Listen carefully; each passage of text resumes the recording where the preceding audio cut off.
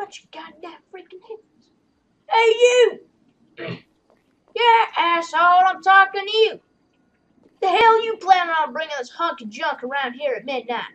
Who, who are you? Who are you here to see? Oh, sorry, sir, we just got a little turned around. Ah, horse crap. You hips came around here and smoked dope on Dark Road.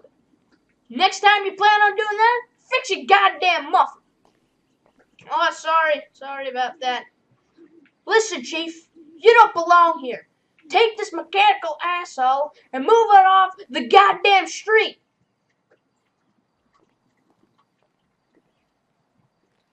Hey! Dennis Hopper, move this hunk of junk out of here. All right, all right, stop yelling at me. Jeez, hold your horses.